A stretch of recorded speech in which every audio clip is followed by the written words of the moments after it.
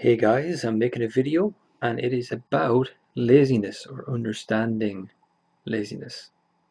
Now, we are entirely confused about this. Everybody on YouTube seemingly is obsessed with personal productivity, trying to do more personal development. Very good. But in my opinion, we are completely misguided for the most part in why it happens and actually how to be successful in being more productive. We're going about it entirely the wrong way. Now, we think laziness is an inherent character flaw. So, really, the problem with that approach is we're talking about procrastination, understanding it, understanding laziness. If you're seeing it as just an inherent character flaw, that cuts out any inquiry or investigation as to actually what is the cause of this. A character flaw is medieval, it's primitive, it's dumb, it's not insightful in any way. So let's get real about personal productivity and what's actually going on. You're not lazy. There are steps you can take. It's a very, very simple thing to fix to become more proactive and more productive. You just need to know what the right tools are. Now I'm going to talk in this video today about the myth of laziness and what's actually going on. Now, one of the ways we can understand this is we are actually trained to be lazy and it's a, an, un, an unintended consequence of our education. School teaches us to be lazy. Think about it. Before school, did you have a problem with laziness? Not really you didn't procrastinate on anything. You just did what you wanted to do. Okay? Now, school teaches us to be lazy in that it, it, it ties in work or objectives or goals with self discipline and discomfort or pain or misery. Okay, that's the association that we get through our education. Now, the if you want to learn a lot more about this, there's a few things you can do. One of the, the best books that I've ever read on this is by Dr. Neil Fiore. It's called The Now Habit. Fantastic book. I've also written a book. You can get it on my website and it's completely free. You can just download the PDF. And that is geared more towards people who are in college or university because that's where some of the biggest problems with, with procrastination are experienced by people. something else you can do is I've actually made a complete video course outlining exactly why you have this problem in your life and the simple, easy, achievable way to put it behind you. Because it is, as I said, very, very easy to do. Te school teaches us that work isn't supposed to be fun.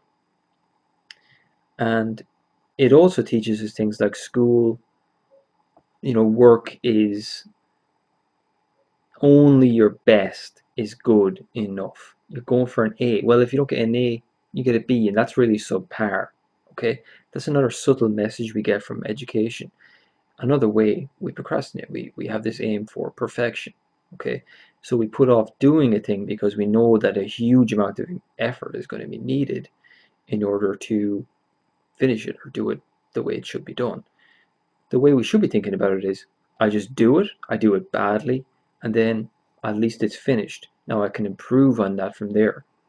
But this thing of searching for perfection is learned. We don't have that when we're kids. We just have a, we do things. We make horrible mistakes and then we do it again. That's the way we're naturally supposed to uh, approach goals and personal productivity. Now, the, but the biggest thing by far in all of this is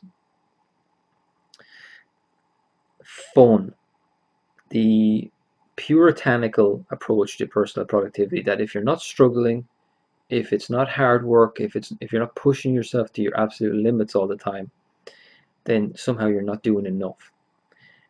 That is a recipe for laziness because you will proactively, subconsciously maybe, rebel against that. So what Neil Fiore does in his book, and I do in my online course, is I outline outline ways that you can actually start to implement and bring in more fun and relaxation into your life. It is transformative when you realize that work doesn't come after fun. Um, or sorry, fun doesn't come after work. Work and fun are far more balanced than that. In fact, you actually get the perception that fun is my top priority. I cannot put fun off. I can't keep procrastinating about fun. When we schedule proactively fun into our life, um, relaxation, whatever it is I need, embracing, as I've, I've called in other videos, embracing our inner slob sometimes, just watching a movie or doing whatever it is we actually really want to do, but proactively, consciously and deliberately, planning it and not allowing ourselves to procrastinate on that thing, then we move away from the passive procrastination, which is really procrastination as we come to know it and experience it. It's this passively procrastinating, doing things I, you know, on paper which are enjoyable, but really when I'm doing them, I'm not enjoying them because I'm beating myself up for not being proactive and uh, productive and doing something that I need to do and should do. So it's about reversing our priorities do not let another day go by in your life without setting aside something to look forward to, something that you really want to do and that you enjoy doing. And then having windows of opportunity in your day, other periods when, yeah, I can work there if I want to, but I'm not going to sacrifice my fun for that, you know. So you, you can see the the entire different approach to thinking about personal productivity. Personal productivity is not about struggle. It's not supposed to be hard. In fact, it's supposed to be ridiculously easy. That's how you become consistent. That's how you become relaxed and you enjoy whatever it is you're doing and you actually achieve what you're going to do. So, a couple of resources Neil Fiore's book, my free book on my website, and my video course as well. Um, I highly recommend them. Laziness is a myth. It was actually learned when you were in school. Now you're an adult, hopefully, you're watching this, maybe you're in school still, but you don't have to keep those lessons.